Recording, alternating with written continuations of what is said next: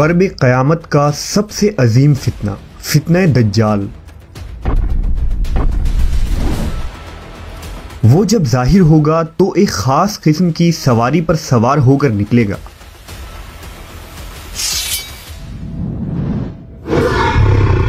उसकी सवारी में किस तरह की कुत होगी और क्या दज्जाल के उस सवारी का ताल्लुक आज के जदीद दौर से है?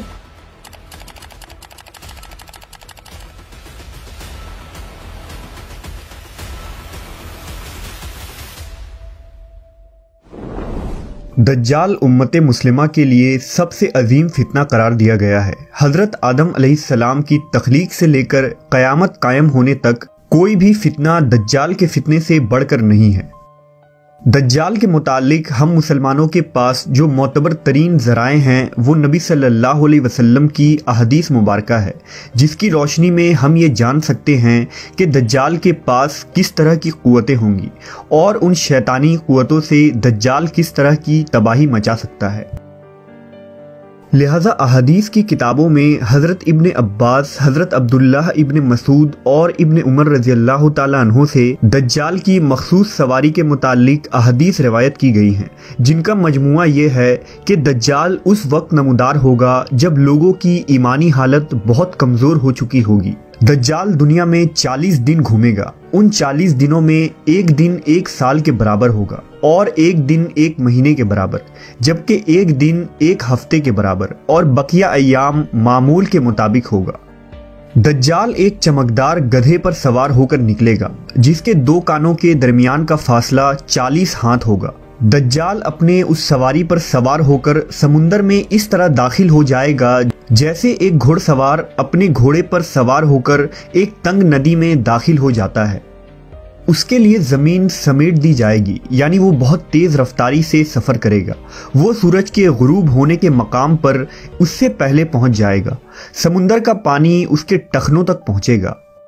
दज्जाल के पास सत्तर हज़ार की फौज होगी, जिनके ऊपर सब्ज चादरें होंगी। यहाँ तक कि वो अबू अल मराक के टीले पर आकर ठहर जाएँगे। वो ऐसी बुलंद आवाज़ देकर सबको बुलाएगा कि उसको ज़मीन और आसमान के दरमियान सारी मखलूक सुनेंगे। फिर दज्जाल उन लोगों से कहेगा कि तुम सब मेरी इबादत करो, मैं तुम्हारा रब हूँ। इस मौके पर रसूल अल्लाह सल्लल्लाहु अलैहि वसल्लम ने फरमाया, तुम्हें यह पता हो कि तुम्हारा रब एक आँख वाला नहीं हो सकता। भला वो जो दूसरों को आँखें देता है, वो खुद कैसे बिनाई से महरूम रह सकता है? उस बदबख्त दज्जाल के माथे पर काफिर लिखा होगा, जिसे सिर्फ़ मोमिन ही पढ़ सकेगा और उसे पहचान लेगा। दज्जाल अपने गधे पर सवार होकर सारी ज़मीन पर घूमेगा। इस ज़मीन का कोई मैदानी, सहराई और पहाड़ी इलाका ऐसा बाकी नहीं बचेगा जहाँ वो ना जाए, सिवाय मक्का मुकर्रमा और मदीना मुनवरा के। अल्लाह ताला उन दोनों जगहों के फरिश्तों के ज़रिए हिफाजत फरमाएगा। दज्जाल जब वहाँ दाखिल होना चाहेगा तो फरिश्ता उसका रुख फेर देंगे। ये एक अजीम शान पेशन गोई है, जिसमें दज्जाल के एक अजीबो गरीब किस्म की सवारी की तरफ़ इशारा है, जो आखिरी ज़माने में ज़ाहिर होगा, और उसकी वजह से सफ़र में आसानी और सूरत पैदा हो जाएगी।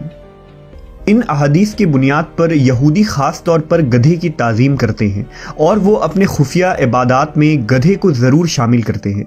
बाज लोगों का ये दावा है कि अपने इबादत के दिन खुफिया तौर पर यहूदी एक गधे को उठाकर बैतुल मुकद्दस में ले जाते हैं, जहाँ मुख्तलिफ़ रस्म रिवाज के मुताबिक उस गधे को सजाया जाता है। साहबा कराम के जहन में उस वक्त ये सवाल ज़रूर आया होगा कि ऐसा गधा कहाँ से आ जाएगा, जिसकी लंबाई और चौड़ाई इतनी देवकामत होगी।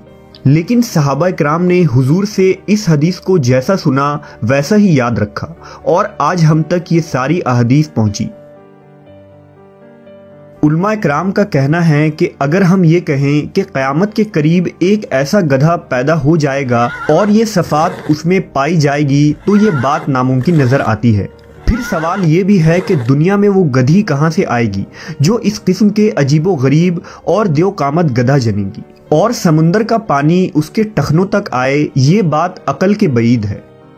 कुछ महक्कीन के राय के मुताबिक, दज्जाल की सवारी के लिए हदीस में लफ्ज़ दाबा या जानवर का लफ्ज़ इस्तेमाल किया गया है, और वो किसी भी तरह की सवारी हो सकती है। लिहाजा महक्कीन के राय के मुताबिक, मुमकिन है कि दज्जाल की वो सवारी उड़न तश्तरी या जदीद हवाई जहाज़ की कोई एडवांस शक्ल हो। गर्ज ये कि हम जानते हैं कि आज के इस जदीद दौर में हवा और आवाज़ के रफ्तार से कई गुना ज़्यादा सुपरसोनिक जहाज़ तैयार हो चुकी है और उड़न तश्तरी के किस्से भी पिछले सौ सालों में बहुत मशहूर हुए हैं, जिनको यूएफओ कहा जाता है। इन यूएफओस को देखे जाने के वाक़ात ज़्यादातर बरमुडा ट्राइंगल के नज़दीक हुए हैं, जो फ्लोरिडा के करीब है।